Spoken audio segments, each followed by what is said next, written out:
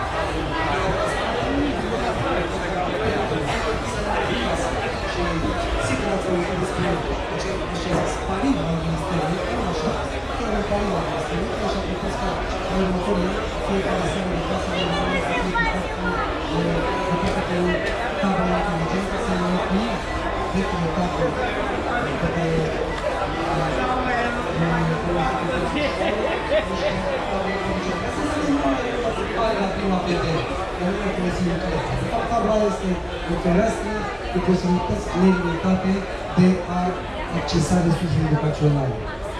De indiferent de, de unde din lumea asta, în două secunde putem să accesăm resurse educaționale, ori asta este foarte important. Așadar, am creat standarde minimale de dotare. Avem un PNRR, doar dacă spunem că peste 1000 de smart lab-uri, nu știu câte avem în România, la probabil că sunt 15, mi se suflă din public, așadar la 15 la 1000 este atât loc de dezvoltare încât nici nu ne putem imagina ce va urma. Avem uh, 10.000 de laboratoare și uh, laboratoare de toate tipurile care au obligatoriu componentă digitală, dar poate că trebuia să încep cu ce era cel mai important. Acestea sunt, uh, sau ceea ce v-am spus până acum, răspund la întrebarea cu ce. La întrebarea cu cine și pentru cine, trebuie să răspundem și mai importante asta, pentru că avem 200.000 de profesori în sistem și asigurată bugetarea pentru formarea profesională a 100.000 dintre aceștia strict pe competențe digitale. Deci dacă era nevoie de uh, o subliniere mai apăsată a preocupării noastre pentru domeniul digitalizării, care, atenție, nu este un stop în sine, este o necesitate de adaptare la anul 2022 și la anii care urmează. Noi nu facem educație pentru a digitaliza. Din contră, sau invers, digitalizăm pentru a optimiza procesul de educație. Așadar, cursul de formare pentru sute de mii de profesori, apropo de asta, suntem aproape gata cu setul de competențe pe care trebuie să-l aibă profesorii pentru a putea, a putea învăța pe alții în domeniul digital. Uh, cât timp am? Am uitat să vă întreb. În regulă, pentru că mi se pare că am vorbit mai mult America, Pestoniu, uh, ceea ce încerc să trag o concluzie. Dacă facem un top 3 al priorităților care spun în acest moment, sigur, de a găsi zona de digitalizare a condițiilor pe unul, pe doi sau pe trei și o paranteză. Acum, în momentul în care vorbim, uh, cam 200 de profesori din țara asta evaluează pentru prima dată lucrări în examenul oficial, asta e matematică,